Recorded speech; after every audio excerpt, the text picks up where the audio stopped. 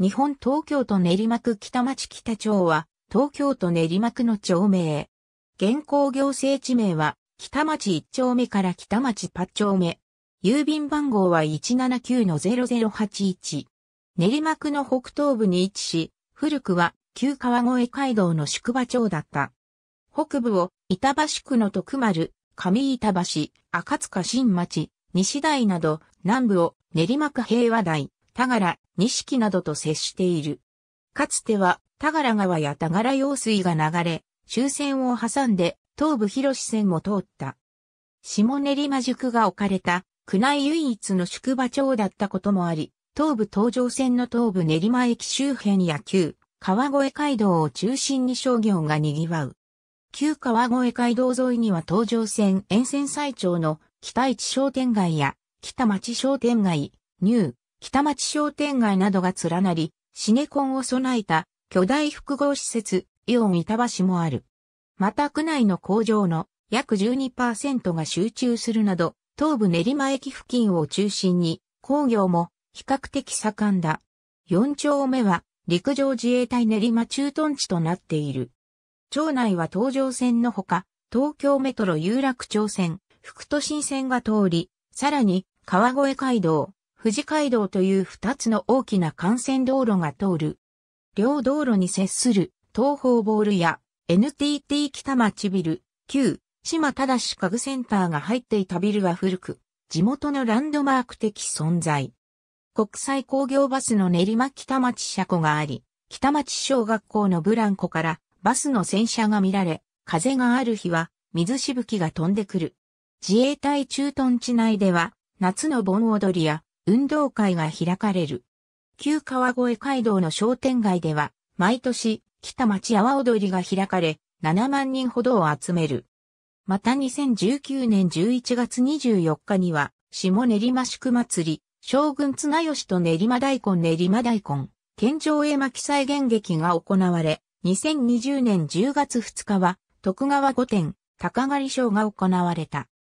旧北町にはかつて、徳川綱吉御殿があり、将軍になる前に活気を患いここに御殿を建て療養したことや、そのつれづれに練馬大根を栽培し後大将軍になった暁に大根を献上させ、諸大名に振る舞ったこと、天津さえ高狩りにも利用したびたびこの地に投留していたなどの逸話にちなむ。また、田原川緑道は桜の名所になっている。2017年12月1日現在の世帯数と人口は以下の通りである。区立小中学校に通う場合、学区は以下の通りとなる。宿場町として、旧武蔵区に豊島郡下練馬村。江戸時代から旧川越街道の宿場町として、下練馬宿が置かれ賑わった。下練馬宿は、川越のある、北西川から上宿、中宿、下宿の三つからなり、本陣、脇本陣、問屋場が揃っていた。本陣は口述する、下練馬の第三道道標、東高の山道標の近くにあった。参勤交代で通る大名や高狩りに行く綱吉、富士や大山への参詣者、秩父巡礼者らが利用した。ただ宿泊者は少なく、休憩利用が多かったという。区域と地名下練馬村時代は、下練馬宿を中心に、西の方幕楼家、八つ、大松、久保、その南の農作地帯であった池の端、田柄谷、池の上、伊勢原、大仙街道の北側になる古典、桜台、甲信塚、大仙、富士山、田柄前などと呼ばれた区域である。その後北豊島郡練馬町を経て、1932年に板橋区に編入された際、旧練馬町を練馬北町、練馬中町、練馬南町に分けた。戦後は練馬の冠が外れた後、中町と南町は消え、北町はそのまま残った。町の発展北町が大きく変わったのは、田柄川の河川改修を含めた高知整理を始めたことや、その終了後の1940年、東京第一陸軍造兵廠練馬倉庫が1万坪の土地にできたことがきっかけである。練馬は順農村地帯で、下練馬村も農地が多かったが、武蔵野大地に位置し水利が良くないため、農地としては適さなかった。地主も農作を諦めて土地を貸すなどした者もいて、洪水にも悩まされた。そうした中で、口述の田柄用水事業も行われた。昭和初期から戦前にかけて農業振興が目的であったが、高知整理事業が北町地区で施行され、整った道路形態の名残を止めることになった。農業に関しては、赤塚近くの久保に1902年、練馬大根種子販売合資会社が設立され、本格的に練馬大根種子の販売に乗り出した様子が伺える。東武練馬駅開業1914年に東上線が開通したが、上板橋駅の次は、成増駅で当地に駅はなかったため、この町の発展は父たるものであった。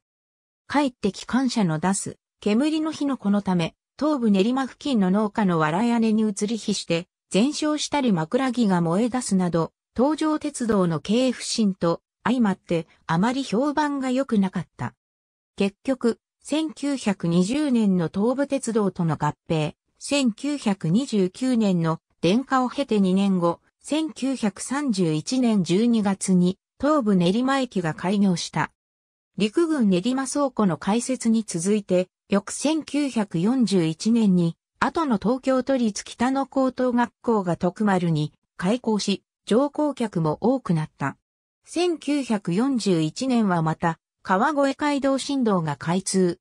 同倉庫や朝霞の士官学校に通じる道路として重要となり、倉庫敷地も拡張されていった。戦後戦後は倉庫跡が練馬駐屯地などになり、感謝もできた。東武練馬駅周辺や旧川越街道の周辺なども宅地化は急速に進み、商店なども増えた。下練馬宿の旧本陣があった場所は、駅からかなり離れているが、高度経済成長期以降に、声優になり、近くにロッテリアなどもでき、東武練馬、北町地区の中心の一つとして賑わった。1960年代以降の北一、北町商店街は、西台、高島平駅や平和台駅が未開業だったこともあり、広域から集客し一時雑踏と陰信を極めた。1980年代前半頃まで前に進めず、前が見えないほどで、ラッシュ時の駅のホーム並みに買い物客でごった返した。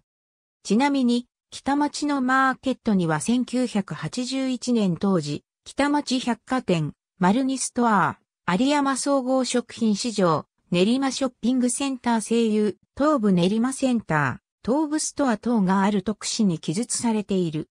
1977年まで北町には田柄川が流れ、田柄用水も戦前の昭和初期まで通っていた。田柄川は石神川の支流の自然河川で、一方田柄用水は人工的に開削された。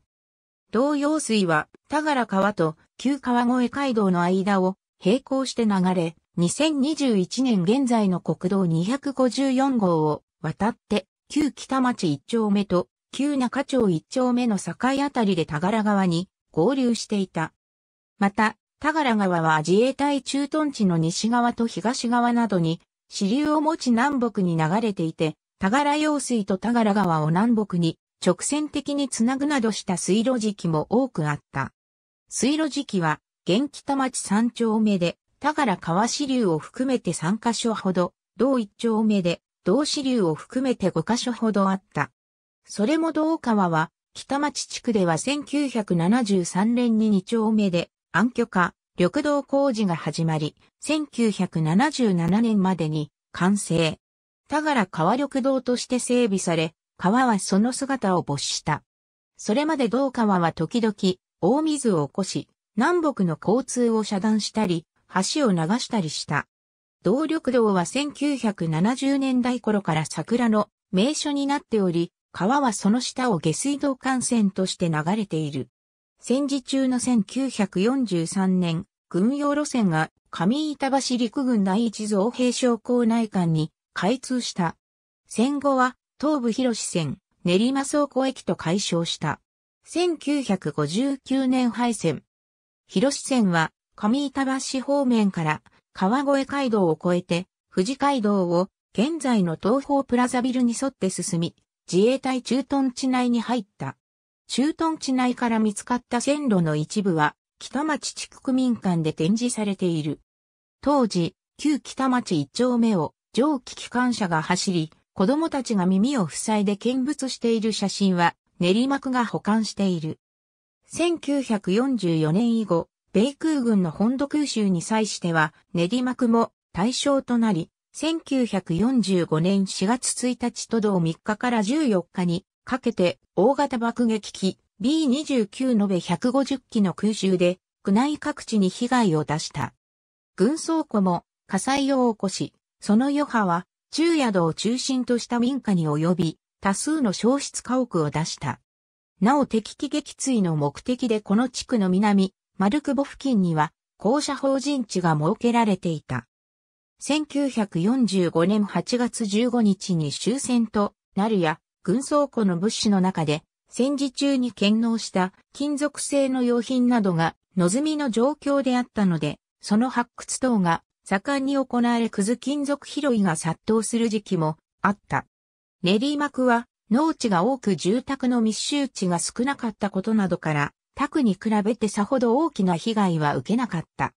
しかし、このことがかえって多くの引き上げ者をはじめとする人々の招致につながることとなり、深刻な住宅問題が生まれるきっかけとなった。町内を通る富士街道は、かつて富士大山道と称し、大山や富士山などへの参詣者が通った。その途中の休憩に下練馬宿が利用された。起点となる旧川越街道との交差点に、下練馬の第三道道標、東高野山道標建立が置かれている。富士山系の歴史を忍ばせる北町浅間神社には、富士塚がある。1993年に、下練馬の富士塚として、練馬区有形民族文化財に登録された。ちなみに、練馬春日町駅の高層ビルや、練馬北町立教ができる前、東方ボールと東京ガスの間の富士、街道交差点から富士山が望めた。東武練馬駅前の旧川越街道沿いに北町観音堂があり、1682年本流で区内最大270センチメートルの北町、聖観音座像が鎮座している。台座には川越街道の29の地名が刻印されている。銅像は練馬区指定有形民族文化財である。他にも通行者のための馬頭観音像、区指定登録有形文化財の北町の仁王像など、小さな像が多くある。四丁目は全体を自衛隊の練馬駐屯地が占めている。戦時中に東京第一陸軍造兵省の練馬倉庫として造成されたが、戦後は区画整理され、1951年、警察予備隊が横須賀市栗浜駐屯地から倉庫跡に一部移住し、練馬駐屯地となった。倉庫跡には他に、北町小学校、練馬北町電話局、都立養育院の練馬分院、国際工業バス車庫、車検場、東方ボール、東京ガスなどができた。川越街道を挟んで感謝が立ち並ぶが、1990年代後半頃から順次高層化して建て替えられた。同駐屯地の第一音楽隊が古くから近隣の小学校などで巡回演奏している。また夏に開かれる練馬駐屯地納涼祭の歴史も古く、盆踊りや花火、水、ヨーヨーなどの模擬店のほか、各部隊のパフォーマンスなどが披露され賑わう。また、町内会対抗の運動会も同駐屯地内で開催され、少年野球の練習にもグラウンドが開放されている。なお、第一音楽隊は、練馬駐屯地に置かれ、東京、埼玉、神奈川、千葉、茨城、山梨、静岡の7都県を演奏担任区域にし、自衛隊の各種行事や定期演奏会、ファミリーコンサート、震災被災者への慰問演奏、各地での巡回演奏など、年間100回ほどの音楽演奏を行っている。過去には東京オリンピックでも演奏した。各駅の所在地は、東武練馬駅、下赤塚駅、地下鉄赤塚駅、平和台駅である。東武練馬駅や線路周辺には1970年から1980年代頃まで旅館富士や酒屋など旅館が点在していた。宿場町だったことの名残やキャバレーその他の風俗店がいくらかあったからだと見られる。また1951年に自衛隊が移転してからは自衛隊員対象の飲食店が多くなった。平和台駅近く。元は丸久保と呼ばれたところで近くに戦争中校舎砲を持った防空陣地があった。白滝呉服店北町の農業は区内では小規模な部類に入り、工作地のほとんどはキャベツを生産している。北町では練馬区内の工場の約12%が集中し、製造品出荷額等の約14%を生み出すなど、練馬区で最も工業が盛んな地域の一つである。特に東部東上線付近の1丁目、3丁目、5丁目では、町内の工場の約57.5%、労働者の約81%が集中し、製造品出荷額の約91%を占めている。工場は従業者数が1人から9人の小工場が約91%と圧倒的で30人を超えるのは3工場のみ。史跡など公園、緑地概要、地理参照。ありがとうございます。